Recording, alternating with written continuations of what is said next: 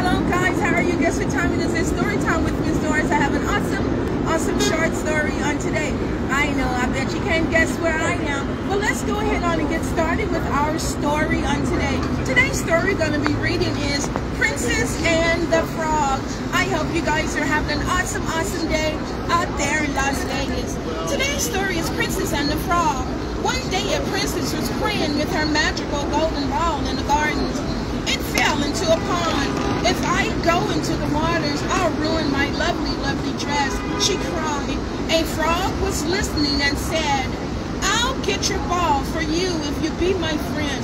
The princess said, if you get my ball, I promise I'll be your friend. But as soon as the frog gave the princess her ball, she ran back to the castle as fast, as fast as she could. Later, as she dined with her father, she heard a knock at the door. Was the frog. She slammed the door in his face. Who was that? asked the king.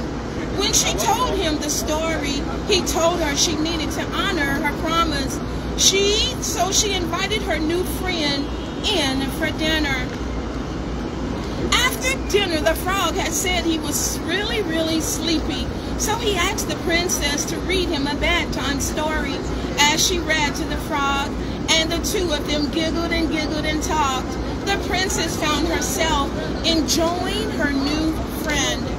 The frog fell asleep, and the princess couldn't help but think the peaceful, how peaceful he looked. She gave him a little kiss.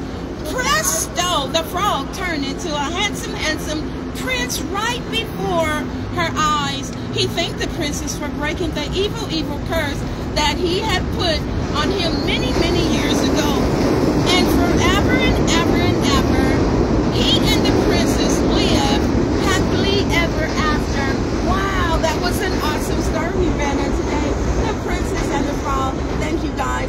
I'm going to leave you guys in awe. I want you to guess in the comments, where do you think story time is? Thanks for tuning in. Have an awesome, awesome day. Love you all. Make sure you're practicing safety first. Take care. Sister Hoy already guessed it.